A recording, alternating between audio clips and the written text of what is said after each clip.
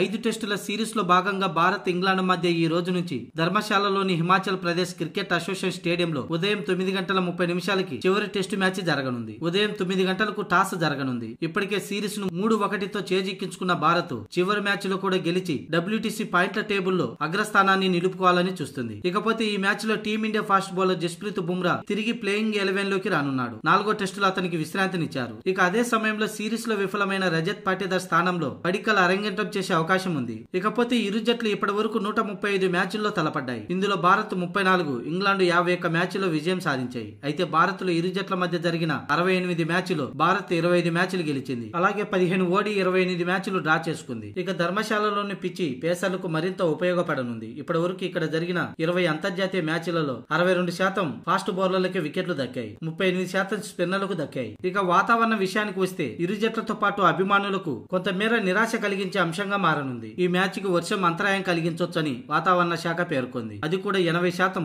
వర్షం కురిచే అవకాశం ఉన్నట్లు పేర్కొంది. తొలి రోజైతే ఏకంగా తొమ్మిది నుంచి ఆరు డిగ్రీల సెల్సియస్ వరకు ఉంటుందని గంటకు ఆరు కిలోమీటర్ల వేగంతో గాలులు వీస్తాయని వాతావరణ శాఖ పేర్కొంది.